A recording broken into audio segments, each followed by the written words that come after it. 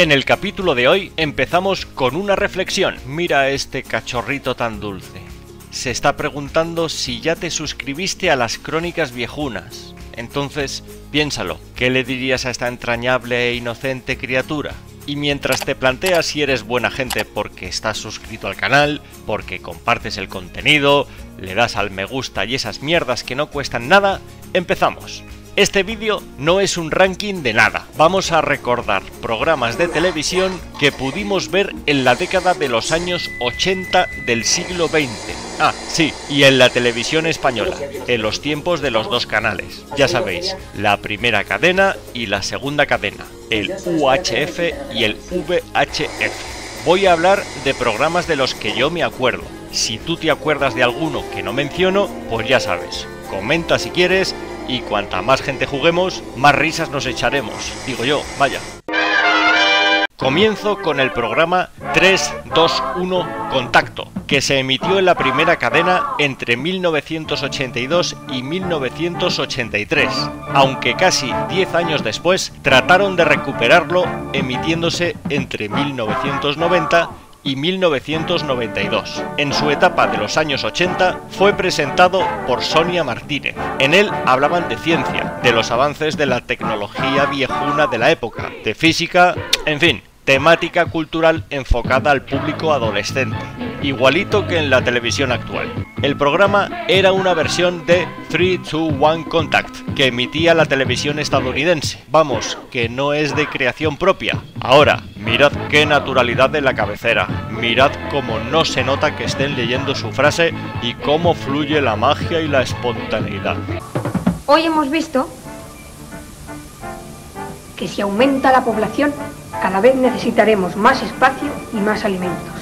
Que los hombres podemos y debemos proteger las especies en peligro de extinción. Y que sin árboles, animales y plantas, la vida se terminará. Y nosotros sin ellos no podemos vivir.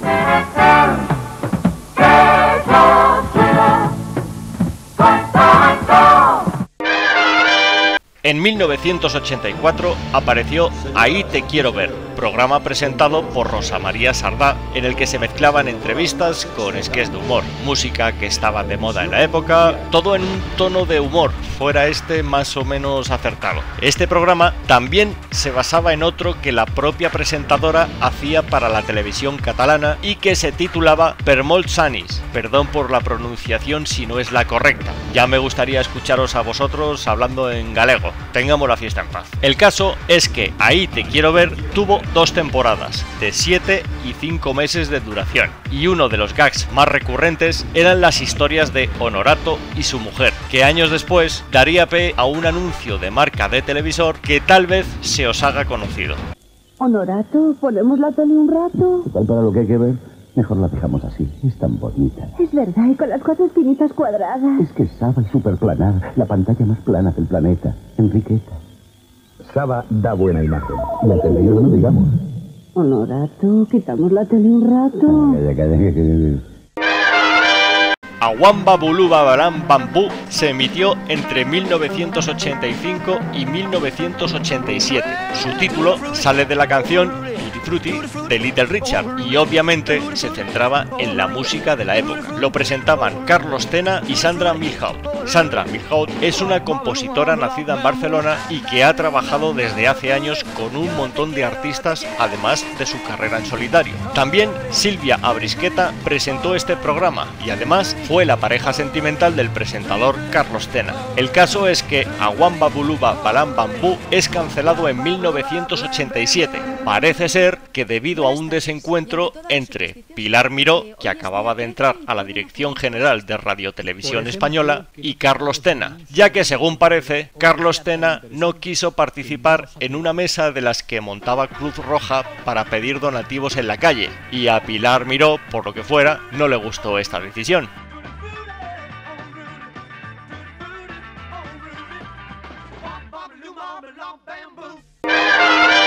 Ni en vivo ni en directo se emitió entre los años 1983 y 1984 y fue en cierto modo el comienzo de la carrera en solitario de Emilio Aragón, que hasta ese momento era conocido por ser parte de los payasos de la tele, con el nombre de Miliquito. Un momento, ¿eh?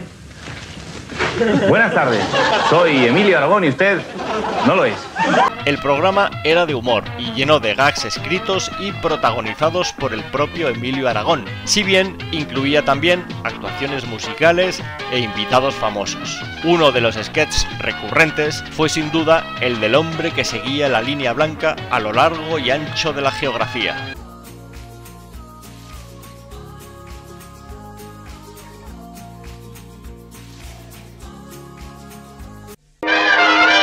Tocata fue un programa musical que se emitió entre los años 1983 y 1987 y que sustituyó a otro programa mítico de la televisión viejuna que fue Aplauso. El caso es que Tocata se centró en el público más joven y fue presentado en sus inicios por Mercedes Resino y Eddie Calixto, esto en sus primeras emisiones. Posteriormente los relevarían José Antonio Avellán, que venía de la emisora de radio Los 40 Principales, y que fue acompañado por Ana Aro. También lo presentó Silvia Abrisqueta y también Vicky Larraz, primera cantante del grupo Ole Ole en aquellos entrañables y viejunos años 80. Por el escenario de Tocata pasaron grupos como Hombres G, Toreros Muertos, Duncan Du, Europe, Iron Maiden, Barricada, Tina Turner, Luz Casal, vamos, un amplio abanico de géneros musicales y por lo que se dice fue el programa pionero en emitir videoclips de los grupos.